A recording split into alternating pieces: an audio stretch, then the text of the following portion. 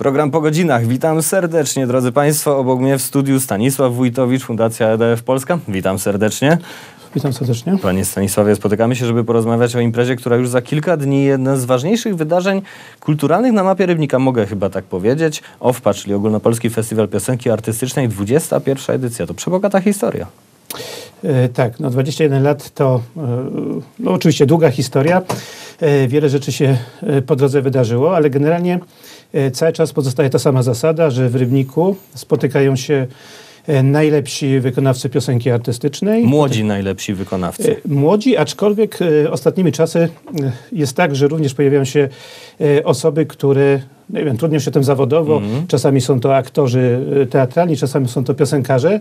Jakby e, regulamin nie przewiduje, że musi to być ktoś do określonego Mhm. wieku. Czy Może to być debiutant, czy cokolwiek? może to być każdy. Mhm. Więc tak jak mówię, przez te 21 lat y, pojawiło się, przewinęło się wiele osób tutaj przez, y, przez ten festiwal i te kariery też różnie się toczyły. No, zawsze mówię o jednej osobie, mówię o Janie Liszowskiej, której kariera jakby y, poszła bardziej w kierunku tego, by być aktorką, Mhm. celebrytką, y, ale jednak nie można jej odmówić tej osobowości. Jak przyjdzie do czegoś, żeby zaśpiewać, to naprawdę Bez jest problemu. oczywiście świetna. No ale z drugiej strony jakby na drugim biegunie mamy e, Dorotę Osińską, która z kolei nie jest celebrytką, ale przede wszystkim jest wokalistką z pięknym, cudownym głosem. No to teraz jesteśmy już po tych tegorocznych eliminacjach krajowych.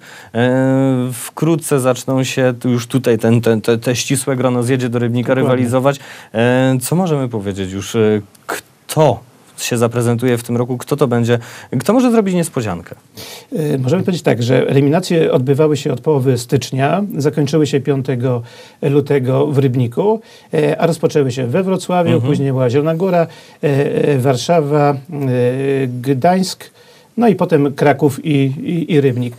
W eliminacjach wzięło udział około kilkaset młodych wykonawców, tak jak Mhm. mówię, młodych i czasami starszych. E, Myśmy zawsze to robili tak, że przewodniczącym jury jest Jan Kondrak. On bierze udział we wszystkich przesłuchaniach po to, żeby mieć kontrolę nad jakością e, tego, co tam się dzieje. E, I mogę powiedzieć tyle, że mm, ponieważ są limity jakby w poszczególnych miastach, to na przesłuchaniach w Rybniku okazało się, że było tak dużo świetnych osób, że właściwie e, z, znaczy z Rybnika i z okolic, bo to jakby No, w. Rybniku oczywiście, było tak dużo bardzo dobrych wykonawców, że można byłoby tutaj wybrać nawet 15. Wybra, Mhm. w jury wybrało tylko siedmioro, siedmioro. Z tego jest trzech Rybniczan, bardzo dobrych. E, Szczególnie mm, Rafał Kozik, to chłopak, który w tamtym roku zdobył drugą nagrodę. W tym roku zapowiada się rewelacyjnie i być może będzie jednym e, z faworytów. Plus jeszcze dwie świetne dziewczyny tutaj też z okolic. I to jakby o Rybniku mówimy, bo to najbardziej jakby dla nas jest takie przyjemne, A że w jeszcze- Rybniku też te gwiazdy się po prostu rodzą. Ale generalnie jest bardzo dużo dobrych wykonawców tej piosenki artystycznej właśnie. Czyli o poziom powiedzmy konkursowy nie macie się co obawiać, ale o ten poziom Absolutnie nie. e, gwiazd no to chyba też nie, bo według tego, co, co, co mamy na rozpisce, to jest e, pan Woźniak, czyli e, autor no, największego hitu Zegarmieć Światła Purpurowy, no i grupa Hej z gośćmi, no więc wydaje się, że, że pod tym względem również OFPA na pewno nie schodzi na dół. Nie, myślę, że nie, choć e, co roku jest bardzo trudno znaleźć artystów, którzy by się wpisali w ten Mhm. nurt piosenki artystycznej, bo staramy się jednak, e, powiedzmy, być tym festiwalem piosenki artystycznej, a nie po prostu e, robić festiwal po to, żeby zrobić fajne widowisko. Artyzm to przede wszystkim to sprawa najważniejsza w, tym, w tym festiwalu. Jeżeli mówimy o Woźniaku, no to wiadomo, Tadeusz Woźniak będzie w Rybniku na koncercie, który jest z okazji jego 50-lecia pracy artystycznej.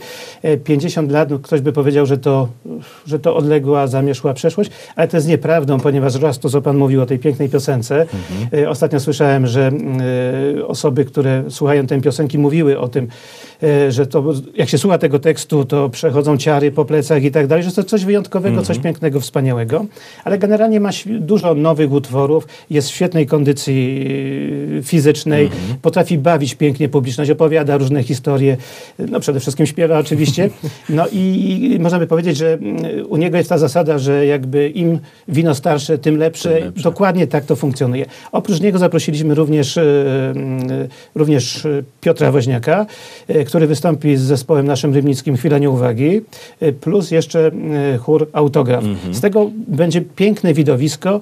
E, Oczywiście, jeżeli Państwo przyjdą e, obejrzeć, obejrzeć koncert, to na koniec będzie też tort, więc będzie okazja i posłuchać. Jak to urodziny, końcu, nie? Oczywiście. Oczywiście i na końcu skosztować dobrego tortu. Natomiast oczywiście e, niedzielny koncert e, zespołu Hej, a tutaj trochę inna konwencja, no wiadomo jest to zespół e, no jakby się nie oszukiwać, rokowy, Mhm. ale jednak to nie jest taki rok e, do końca tradycyjny. No Jest rok, teksty pani Nosowskiej no jednak no, wpisują się doskonale do, do, do, do, do, do powiedzmy formuły OFPy. Oczywiście, że tak. E, oprócz tego, żeby ten koncert e, był jeszcze bardziej bogaty, bo to będzie taki koncert niepowtarzalny, jedyny, e, który nigdzie więcej nie będzie grany, specjalnie zrobiony dla Robnika. Będą jeszcze tam inne osoby, tak jak Grażyna Łobaszewska, będzie Małgorzata Ostrowska, Marek Piekarczyk, taki młody człowiek z Kubas. E, Więc myślę, że koncert jest na tyle piękny, że, że naprawdę warto go zobaczyć. E, Na koncert Woźniaka mamy jeszcze trochę biletów, takich resztkówek i zachęcam do nabycia, bo tak jak mówię, jest to bardzo fajna rzecz. Natomiast hej, zostało nam chyba 20 biletów, 25.